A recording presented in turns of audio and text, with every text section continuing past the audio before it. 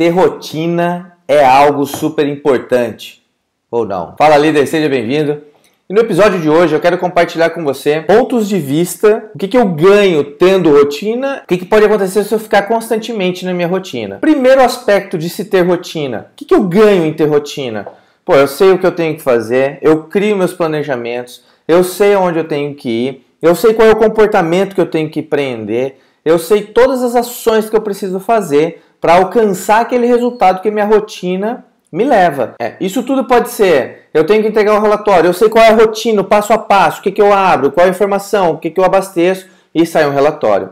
Dentro da minha vida, no dia a dia, ter uma rotina é super importante, é de dormir cedo, acordar cedo, alimentação, ter uma condição regrada, ter as coisas controladas, filho que entra na escola, filho que sai da escola, deixa um, deixa o outro, ou seja, ter uma rotina é super importante, porque eu preciso, com a rotina, eu tenho uma gestão de horários. O que, que eu perco vivendo constantemente, bitolado, presta atenção no que eu estou falando, bitolado na minha rotina. Quando eu fico bitolado na minha rotina, quando eu preciso mudar alguma coisa, aquela pequena mudança, uma simples mudança, começa a se tornar algo gigantesco, algo grandioso, algo difícil de fazer, algo cansativo, irritante, estressante. Agora, viver no estresse, cara, deixa você extremamente cansado, irritado, agressivo, explosivo. Quando eu tenho que quebrar minha rotina, tudo isso em decorrência do quê? Eu tenho sedimentado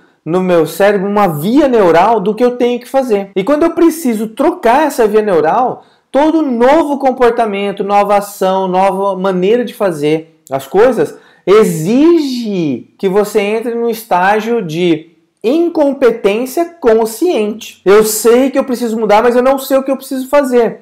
E aí eu vou para o outro estágio da competência consciente. Eu sei o que eu preciso fazer. Eu vou fazer, eu faço, mas eu preciso pensar para fazer. Todas as vezes que a gente implementa um comportamento novo, vai dar trabalho. Essa é uma perca. Demanda energia, demanda tempo. A pessoa cria coisas maiores do que realmente elas são. E essa é uma das situações que pode ser causadas por eu viver bitoladamente na rotina. O que, que eu perco por não ter rotina?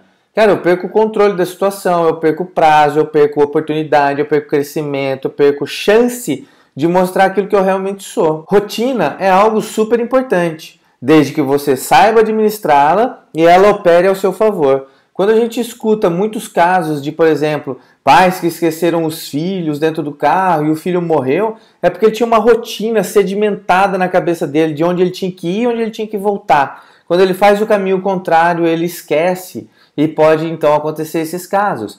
Nós estamos no automático. O problema de viver bitoladamente na rotina é entrar no automático e deixar de realmente produzir os resultados que você é capaz de produzir. Faz sentido todo esse assunto? Deixa seu comentário aqui embaixo desse vídeo. Lembrando que sexta-feira é dia de responder perguntas que você envia para mim aqui no comentário desses vídeos ou você pode enviar pelo meu e-mail no junior@acordardh.com. Na descrição desse vídeo tem o meu e-mail e eu espero você com as suas perguntas lá. Obrigado, deixa seu like aqui embaixo e a gente se vê amanhã com mais uma sacada de liderança. Até amanhã.